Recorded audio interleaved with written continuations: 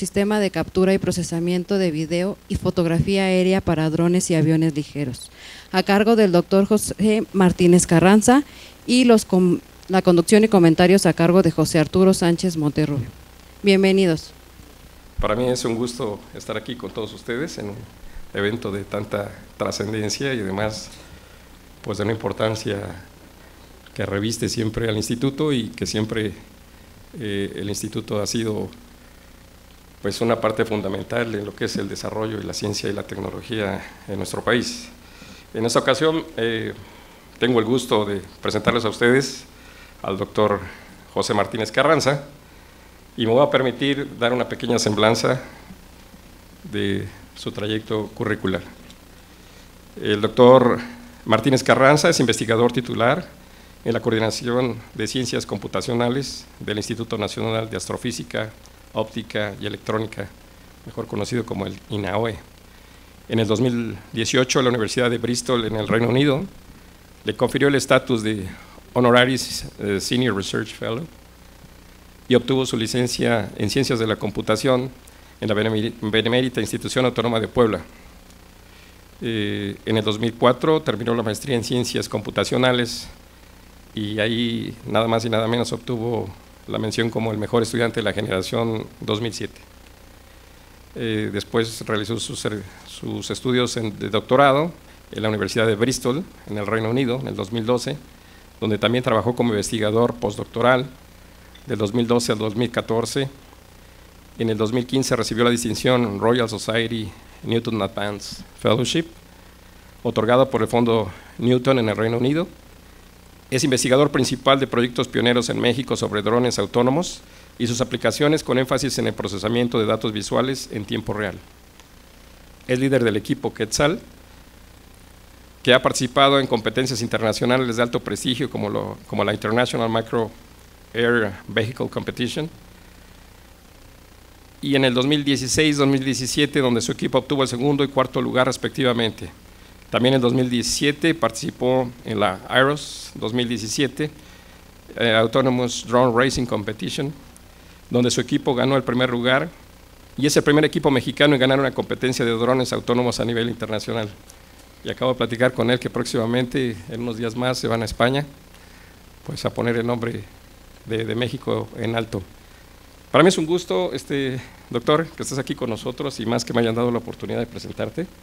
Eh, nos pones y nos haces sentir la piel de chinita de, todos tus logros y la verdad nos da mucho gusto que seas mexicano y más que nos hayas dado la oportunidad a nosotros como instituto de participar y trabajar de manera conjunta. Sin más, eh, pues adelante y estamos a la escucha de tus comentarios. Gracias. Muchas gracias y bueno, soy yo quien tiene que agradecer al INEGI, eh, a CONACI también por supuesto, por la oportunidad que nos han dado para trabajar en este proyecto. Entonces, si me pueden dar pantalla, por favor. La motivación básica detrás de este proyecto y platicando eh, con los colegas de Aguascalientes, con el ingeniero, con el, eh, la persona que le da seguimiento técnico en Aguascalientes, es que, pues, como ustedes deben de saber, INEGI también, además de los censos, eh, desarrolla o genera información tridimensional de todo el territorio nacional. También analiza imágenes satelitales y el INEGI, por supuesto, como muchas instituciones de gobierno, empezó a incursionar con los drones. Entonces, la idea es que eh, incluso a INEGI le llegan muchas fotos del territorio nacional y lo que se necesita es cómo procesarlos. Por otra parte, si se tiene un dron y una cámara, no es tan trivial como irse al campo y capturar imágenes. Entonces, era deseable para INEGI contar con una metodología, una manera que les, eh, que les diera una, una receta de paso a paso de cómo ir a campo y capturar fotografías. Entonces, con eso como antecedente, eh, me voy directamente a lo que fue el objetivo general. Debo de mencionar que nosotros ya concluimos el proyecto, entonces ya realizamos nuestro informe tanto financiero como técnico y por lo tanto voy a tratar de ser muy breve porque no tenemos mucho tiempo. Eh, así es que de manera concreta les puedo platicar que el objetivo general pues era desarrollar un software prototipo y una metodología para realizar levantamiento captura, visualización y procesamiento de video, utilizando, eh, perdón, video y fotografías aéreas. Y todo esto a partir de un dron, un dron comercial, eh, o avión ligero que estuviera equipado con cámaras. Entonces, tenemos eh, dos etapas del proyecto. El año pasado presenté los avances que teníamos con respecto a estas etapas, que era básicamente el desarrollo de este software que realizar estas actividades, calibración de cámaras, captura de fotografías con georreferencia, captura de videos, generación de mosaicos de imágenes y captura de fotografía y video en tiempo real. Y en el segundo año, pues era concretar, afinar esta, este software y por supuesto entregarlo. Entonces, como objetivos específicos, nosotros eh, nos comprometimos a entregar una metodología, como les mencionaba, eh, el software tenía que realizar estas tareas de calibración, generación de, información y, por ejemplo, esta característica de segmentar imágenes aéreas de manera automática. En términos de un cuadro comparativo de los productos del convenio de asignación de recursos, nosotros teníamos que entregar una metodología, eh, un software que fuimos a INEGI y lo instalamos, eh, dimos un curso de capacitación y también nos comprometimos a entregar un artículo para la revista de, de INEGI. La propuesta concreta, eh, más allá de, la metodología, lo que nosotros nos propusimos es explorar eh, estas tres vertientes, que es básicamente, y lo, dije el año pasado, mi visión de lo que queríamos hacer era justamente no reinventar la rueda. Nosotros sabemos que existe, software comercial para realizar estas actividades, el levantamiento de, video y de fotografía. Ayer incluso hubo una plática que habló eh, sobre el procesamiento de, nubes de puntos con LIDAR o LIDAR y utilizando Pix4D. Entonces, para nosotros escribir una metodología basada en software comercial me parece que era lo, más simple, no que fuera trivial. Pero entonces nosotros quisimos ir un poco más allá porque hay un mundo de software libre, ¿sí? disponible. Eh, y entonces lo que nosotros quisimos hacer fue explorar ese, ese software libre, escoger algunas herramientas basadas en nuestra experiencia como vamos a ponerlo así, expertos en procesamiento visual de datos. Y eh, además de eso, pues aprovechar el proyecto para tratar de, tratar de hacer investigación en esta área. Entonces, nosotros hicimos un software prototipo que ya instalamos en, en INEGI. Este tiene estos módulos. Sí, eh, voy a tratar de, de, irlos mencionando rápidamente, nuevamente porque no tengo mucho tiempo. Lo que creo es que vamos a dejar una copia de esta presentación y eh, pues la, información de contacto para quien esté interesado. Pero básicamente este software lo que nos permite es generar modelos tridimensionales a partir de una secuencia de imágenes que capturamos, generar ortofotografías, eh, podemos generar también mosaicos de, baja resolución en tiempo real, voy a mostrar unos videos de esto, y generar nubes de puntos también en tiempo real.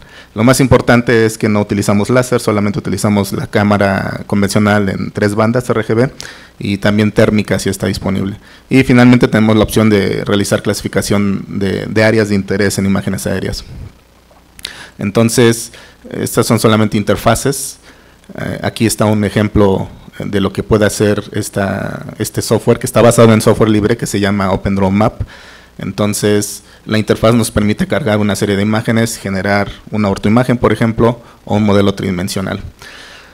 La idea es que entonces INEGI tenga la flexibilidad de eh, trabajar con diferentes tipos de imágenes eh, que se pueden obtener con otros drones, con otras cámaras, incluso de bases de datos. Por ejemplo, el INEGI nos proveyó estas imágenes que están aquí son de un son imágenes escaneadas de fotografías analógicas que digitalizaron, que son parte del archivo de INEGI y nos las pasaron y nosotros pues las probamos con este software. Entonces, este es un ejemplo del modelo tridimensional generado con el procesamiento ya con este software, con la interfaz. Eh, les puedo recordar un poco lo que estaban diciendo ayer, a partir de imágenes aéreas podemos generar este modelo tridimensional. ¿no? A ver, déjenme ver aquí.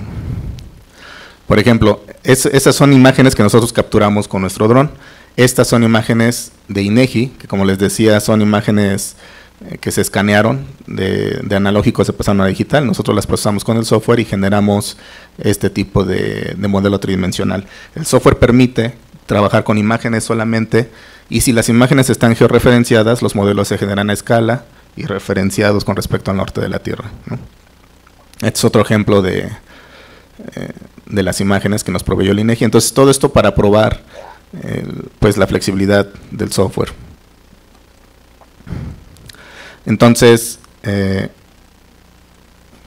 También se puede generar ortofotografía, es decir, a partir de los modelos tridimensionales, estén georreferenciados, escalados o no, nosotros podemos generar estas llamadas ortoimágenes, que es básicamente la proyección del modelo tridimensional a un plano eh, con, una corrección. Entonces, la metodología es similar, simplemente se cargan las imágenes el conjunto de imágenes en el software y se ponen en la, en la, interfaz. Estos son unos resultados. Aquí lo que pueden ver es la alineación de la ortofotografía. Como teníamos GPS en las imágenes, entonces la pudimos alinear, por ejemplo, sobre Google Maps, ¿no? Eh, utilizando alguna herramienta que nos permita hacerlo, que son estas partes resaltadas.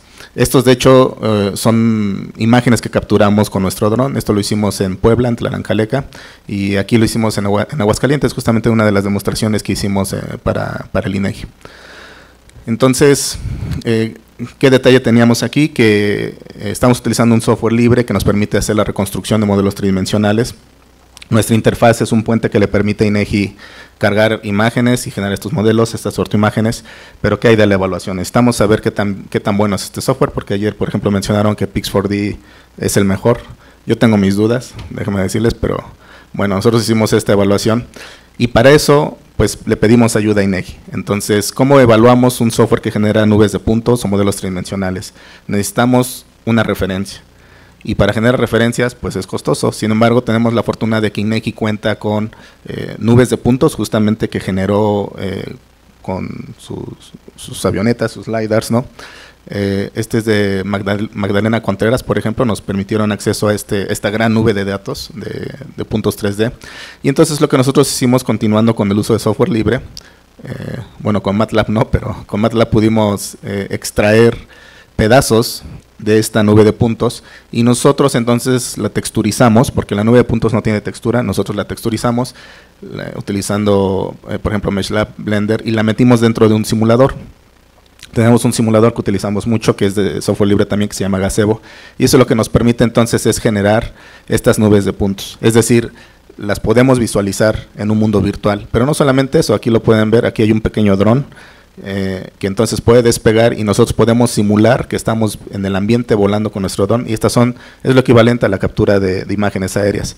Entonces, ¿qué hacemos? Capturamos imágenes aéreas esas imágenes se las pasamos al software de INEGI y generamos los modelos tridimensionales. Y entonces lo que sucede es que podemos generar el modelo 3D escalado, porque este software también nos permite simular GPS. Entonces generamos la nube de puntos y la podemos comparar contra la referencia.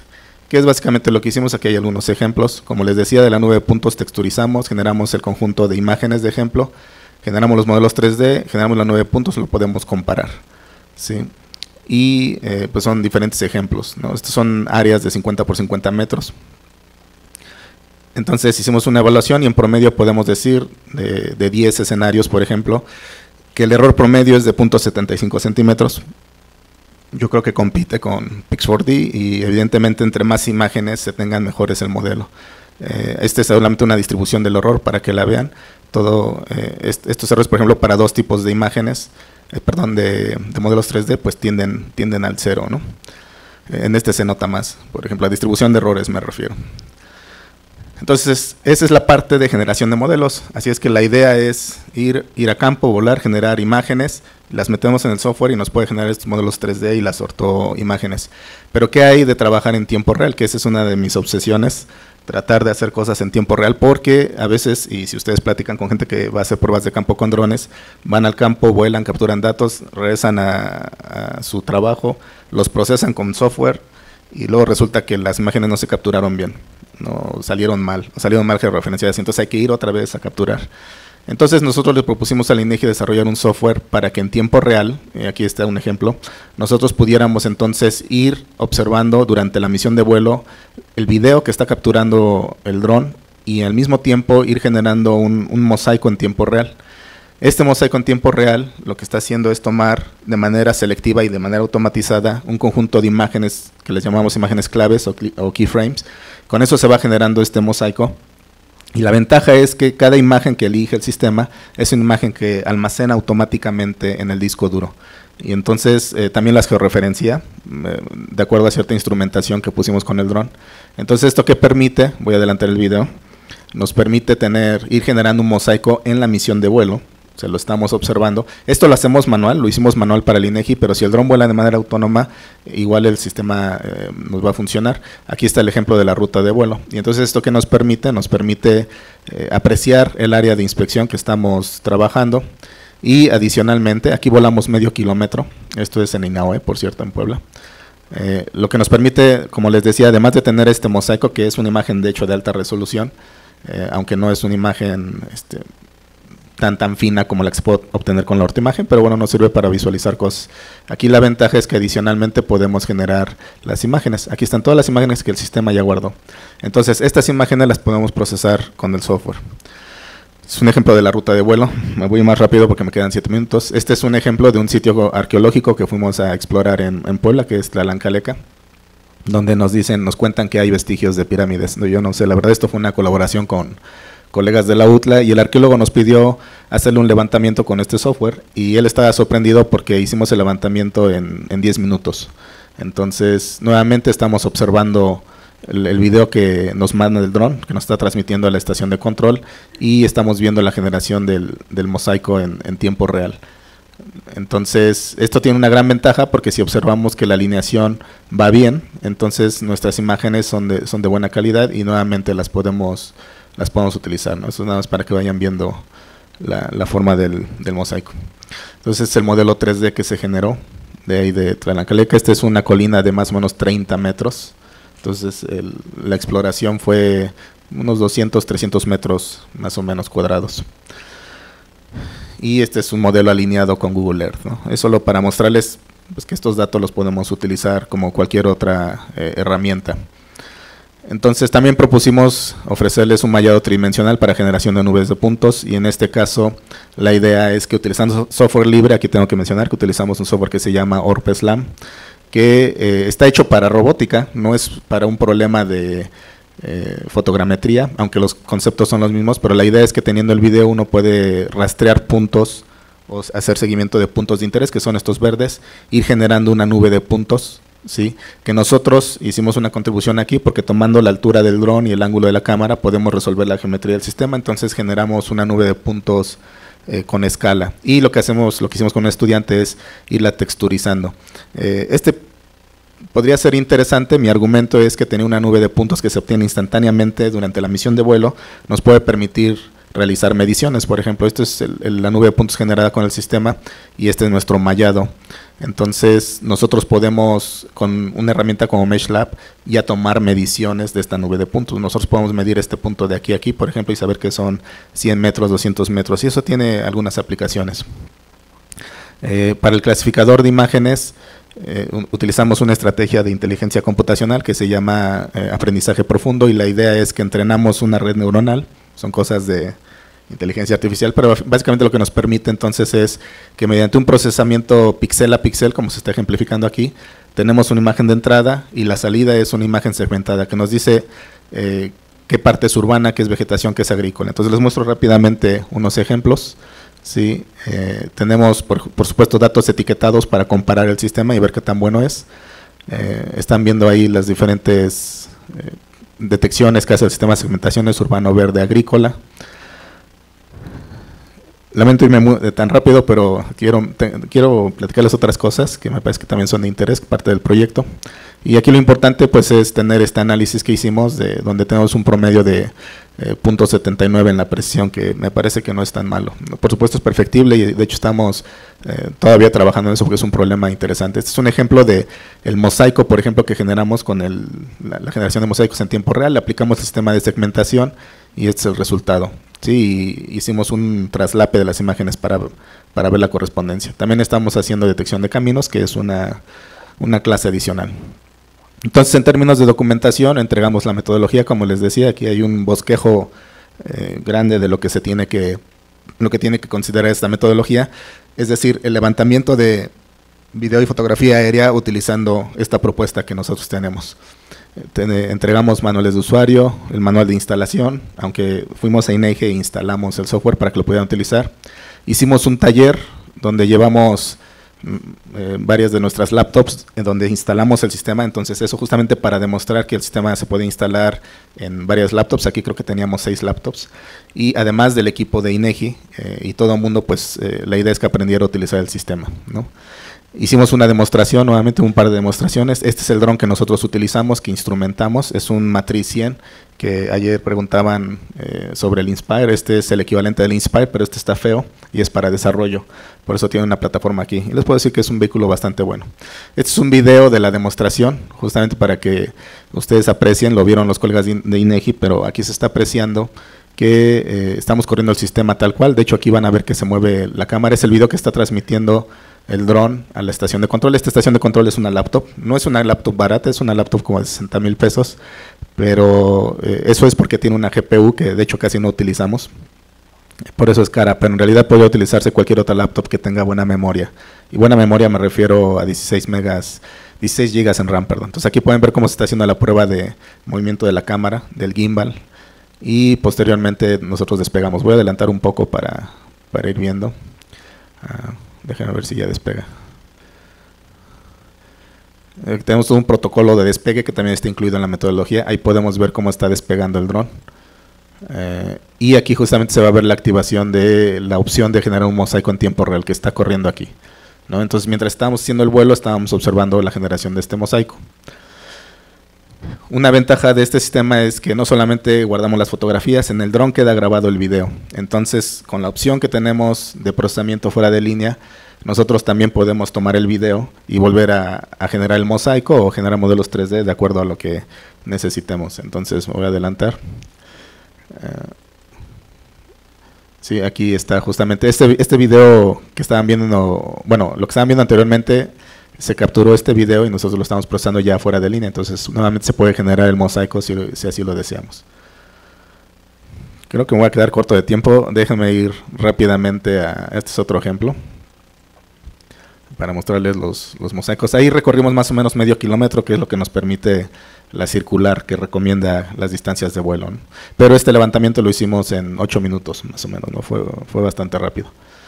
Eh, hicimos investigación, me queda un minuto, creo que ya se me acabó el tiempo, pero voy a tratar de resumir todo esto en un minuto. Entonces, además de hacer esto para INEGI, nos permitió a nosotros también apoyarnos para hacer investigación. Entonces, eh, tenemos eh, un trabajo que es muy interesante desde mi punto de vista. Ya platicaban justamente de la utilización del LIDAR, del LIDAR y que es muy caro.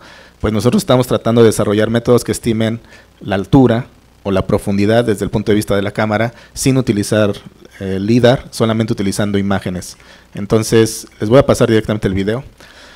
Eh, no recuerdo si esto lo mostré el año pasado, pero estos eran nuestros primeros avances. Y lo que ustedes están viendo aquí es una imagen de estimación de altura o estimación de profundidad con respecto al dron.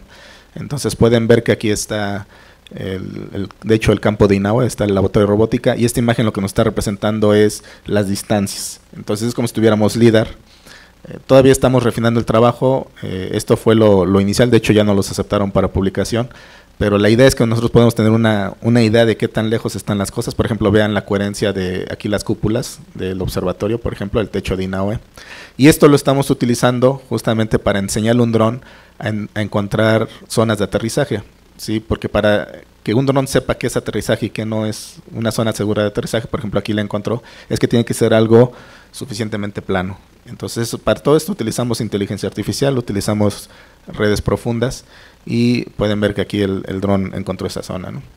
Eh, hicimos también, como parte de investigación, pues propusimos algunos métodos sofisticados para eh, hacer eh, mosaicos, pero con imágenes térmicas. Las imágenes térmicas son muy difíciles de alinear, justamente porque no tienen mucha textura, porque su banda o su espectro de trabajo es el, infrarrojo, no es textura.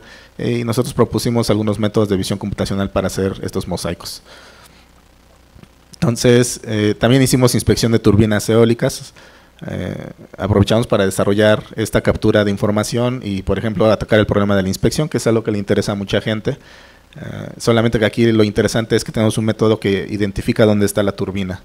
Entonces, para que se den una idea de esto, el, el punto es que el dron observa la turbina, ve cómo están las propelas y genera un plan de vuelo y se acerca hacia la turbina para inspeccionarla. Y este video lo que les muestra es que no solamente es ver la turbina, sino ser eh, robustos a que si la, la, turbina cambia de posición, aún así el sistema la siga detectando. ¿no? Y con eso, por supuesto, eh, entonces tenemos a nuestro dron que vuela de manera autónoma, esto es autónomo, esto también ya fue publicado, eh, en donde se acerca la turbina, aquí genera, aquí de hecho lo van a ver, si aprecian rápidamente, detecta la turbina, genera el plan de vuelo y va hacia la turbina para inspeccionarla. ¿no? ¿Y esto para qué? Para capturar fotografías, que son estas que están viendo aquí. Está capturando videofotografía para la inspección. Entonces son, son ejemplos de lo que hicimos para investigación. En, la tes, en, el proyecto tuvimos eh, estudiantes de maestría, de licenciatura, que se les apoyó con un, con un financiamiento. Estos dos últimos estudiantes solamente se involucraron en la parte de la inspección de sitios arqueológicos, no recibieron beca, pero igual le agradecieron al INGE porque fueron dirigidos eh, por un servidor con otros colegas de la UTLA. Pero bueno, en total tuvimos todos estos estudiantes. Espero que se vea. Pero bueno, hicimos estas publicaciones, nos acaban de aceptar el artículo en revista. Eh, tenemos siete artículos de conferencia aceptados. Les quiero decir puntualmente que en computación los artículos de conferencia no son un abstract, son un artículo sí que recibe citas y que es arbitrado. Entonces uno somete un artículo de 8 o 10 páginas o hasta 12, hay revisores como en una revista y lo aceptan, la única diferencia es que uno va a la conferencia, no es una práctica diferente a otras áreas. Pero bueno, publicamos siete artículos, tenemos una divulgación en la revista Computer Sapiens de la Sociedad Mexicana de Inteligencia Artificial y eh, tenemos el artículo sometido a la revista de INEGI, eh, de, eh, ¿cómo se llama? Revista Internacional de Estadística y Geografía, perdón, Realidad, Datos y, Ciencia, y, Espacio. Hasta donde yo sé está en la revisión de español, lo que es curioso porque el, artículo lo escribimos en inglés, entonces yo asumo que ya pasó la revisión de inglés, entonces estamos esperando ya nada más la respuesta. Eh, tenemos sometido otro artículo en JCR y estamos por someter otros dos artículos. Ya terminando, este es el grupo de trabajo, un, grupo de estudiantes muy talentosos, pero más que talentosos, muy entusiastas porque ir a hacer pruebas de campo no es trivial, todos siempre estaban requemados de que nos daba el sol. Eh, tenemos, tuvimos cuatro estudiantes postdoctorales en diferentes instantes de tiempo, los últimos dos fueron Raimundo y Mariana. Eh, estudiantes de maestría, estudiantes de licenciatura, y les puedo decir con mucho orgullo que de hecho nuestro piloto, y que durante estos dos años fuimos a hacer pruebas a INEGI, Aguascalientes, a hacer las demostraciones, nuestro piloto era un estudiante que es Oyuki, y que andaba por aquí el año pasado. Último comercial, en el año que viene, en noviembre, en INAOE, vamos a organizar justamente esta competencia. Ahora en septiembre vamos a ir a competir y vamos a ir a recibir la sede oficialmente.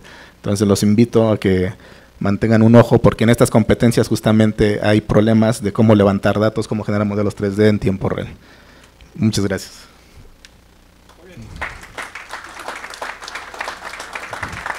Discúlpenme porque me haya pasado un poco. No, no. Eh, pues muchas gracias, este doctor. No sé si pregunto al, al Pleno si hubiera alguna pregunta adelante.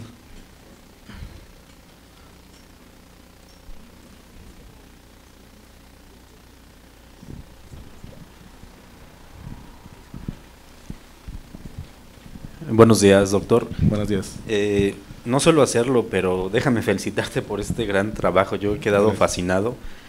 Eh, no sé si alcanzas a ver el que seguramente lo haces.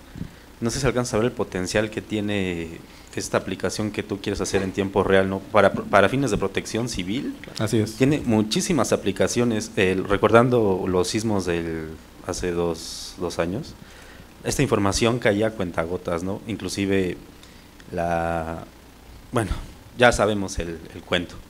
Entonces, bueno, la, la, pregunta que yo tengo es, esa, ¿este software que desarrollaste para el INEGI en algún momento se va a liberar para, para usuarios de otras instituciones? ¿Cómo podríamos gestionarlo? Bueno, no, sé si tú me puedes responder esto. Sí. Y la, la otra, lo del... También tengo mis dudas respecto al Pix4D.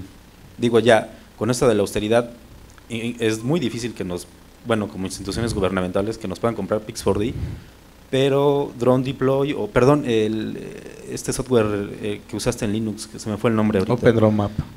¿Qué, ¿Qué tan eficiente es? lo es Bueno, tú me podrás decir. Sí, la, la primera pregunta, eh, de acuerdo al convenio de asignación de recursos, el INEGI es propietario del software que les entregamos pero nosotros somos propietarios del desarrollo intelectual, entonces las partes de software libre, por ejemplo, evidentemente no las podemos eh, poseer, las las partes de procesamiento en tiempo real, sí. Entonces, eh, ahora lo que procede, si nos liberan sin problemas el proyecto, no, no es condicional, solo comento que eh, ya una vez que pasemos el proceso de liberación, eh, tenemos que sentarnos con el jurídico de INAOE para ver qué esquema podemos seguir, porque, por ejemplo, podemos hacer convenios con instituciones gubernamentales, no sé si vamos a hacer un esquema de regalías, por ejemplo, de, o de registro de software donde se pueda, pero efectivamente es algo que tenemos que explorar y sí me interesa hacerlo. De hecho, eh, desde el año pasado Senapred se acercó con nosotros eh, por ese problema, solamente que este, pues entre el cambio de gobierno y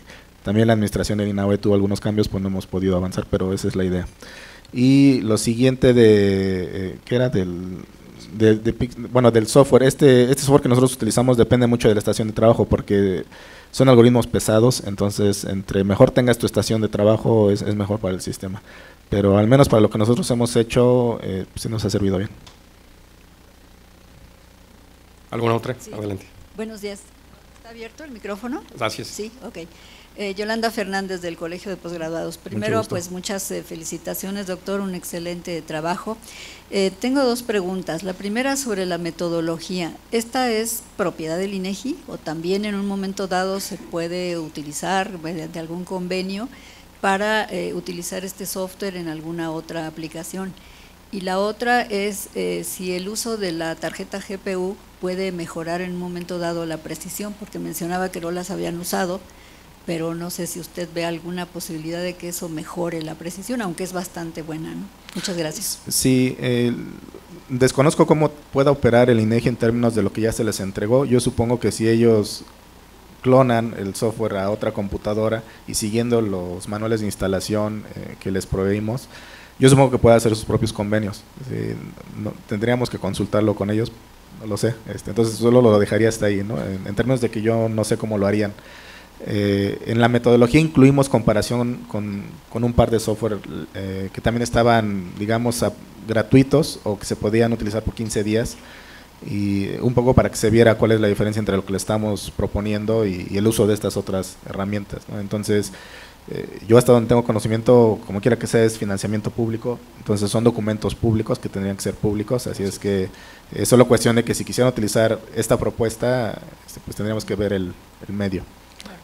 Y con respecto al GPU, una de las publicaciones que nosotros tenemos ya bajo revisión es generar este mosaico en tiempo real utilizando GPU porque este que tenemos en tiempo real corre en tiempo real porque utilizamos eh, algoritmos bastante eficientes, pero con el GPU se puede explotar todavía más y lo que nosotros estamos publicando es que podemos generar ese mosaico en 3 milisegundos, eh, ir haciendo el empalmamiento me refiero.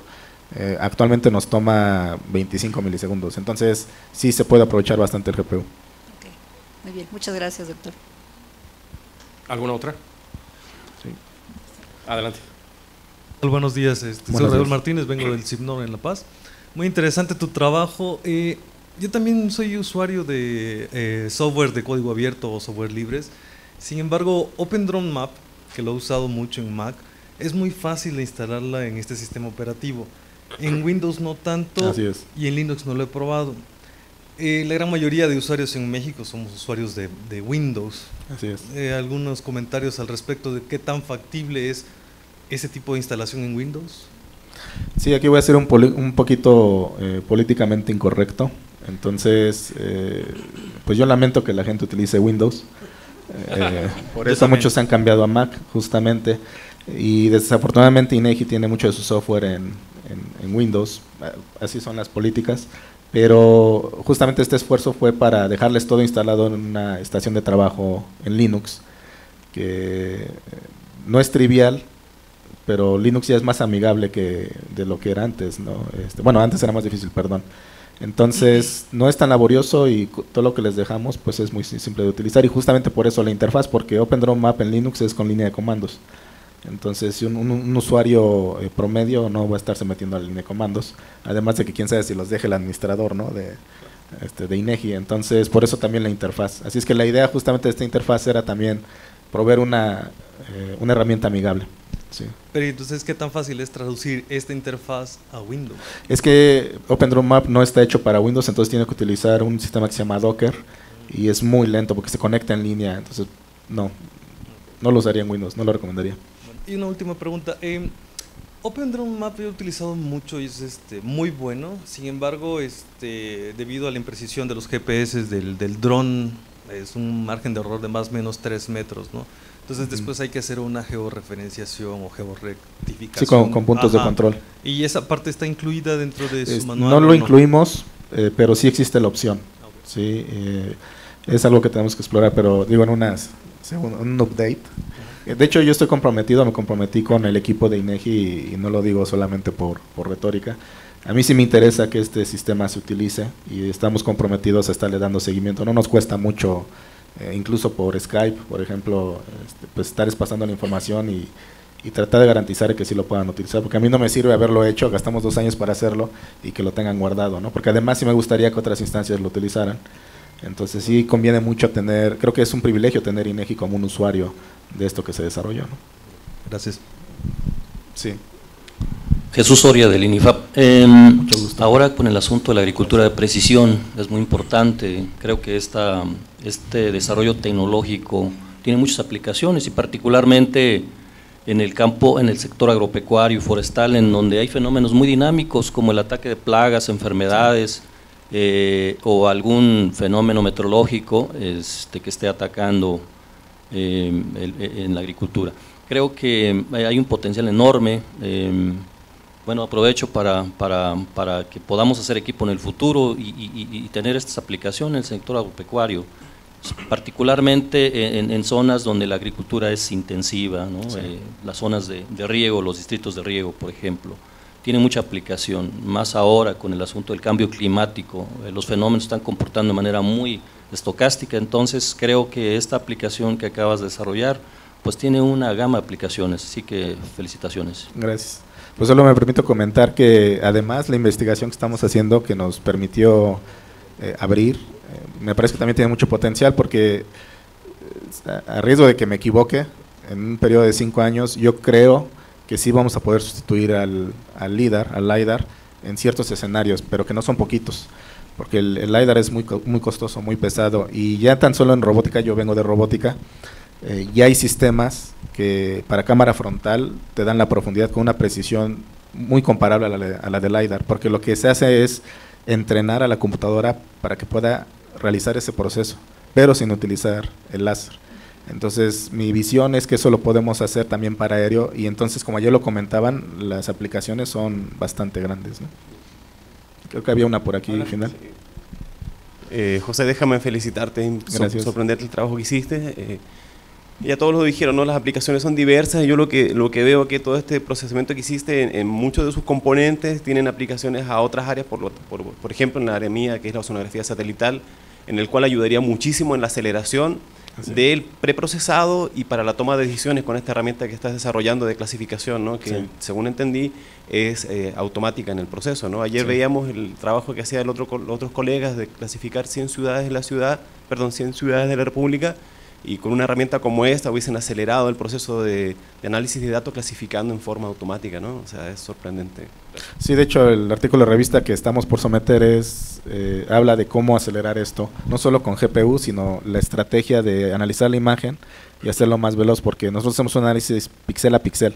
Entonces, aunque sea muy rápida la clasificación, pero si es pixel a pixel y por una imagen, una imagen 4K, pues se tarda mucho. Estamos desarrollando estrategias en ese sentido. Muy bien, pues yo creo que por tiempo tenemos que, detenernos. Como ven, es una cuestión apasionante completamente.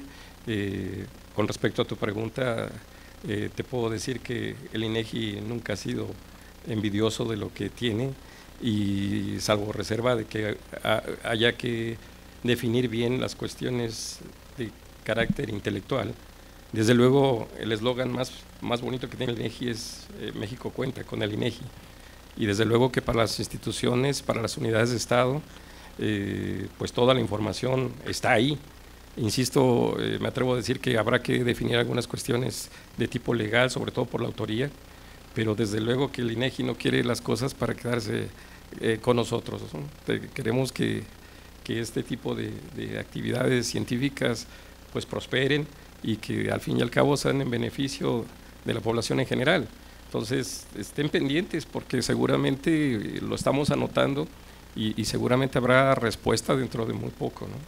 eh, para cuestiones de protección civil, para cuestiones eh, de, la, de, toda la cuestión agrícola y para muchas situaciones. Todavía por ahí hay algunos eh, problemas con, en cuanto a la definición de la legislación de drones en, en zonas habitacionales, pero yo creo que está progresando, está yéndose pues esta tecnología a pasos agigantados. Hemos visto cómo tiene una diversidad de aplicaciones inimaginables. Es, increíble todo el campo de acción que tiene este tipo de tecnología y bueno, pues me congratulo de que haya el INAOE a través del doctor se haya acercado a nosotros y pues esto es una prueba de que en México hay ciencia, de que existe y que lo único que necesita la gente es un poquito de atención y apoyo. Y pues sin más, eh, me permito eh, otorgarte el presente diploma que dice así, el Fondo Sectorial CONACYT INEGI agradece al doctor José Martínez Carranza por su valiosa participación como conferencista en el sexto seminario Presentación de las investigaciones financiadas con recursos del Fondo Sectorial CONACYT INEGI, 27, 28 y 29 de agosto del 2019, INEGI en la Ciudad de México y lo firma el doctor Enrique de Alba Guerra, presidente del Comité Técnico de Administración del Fondo Sectorial CONACYT INEGI. Doctor, felicidades, me dio mucho gusto trabajar contigo y ojalá sigamos en el camino.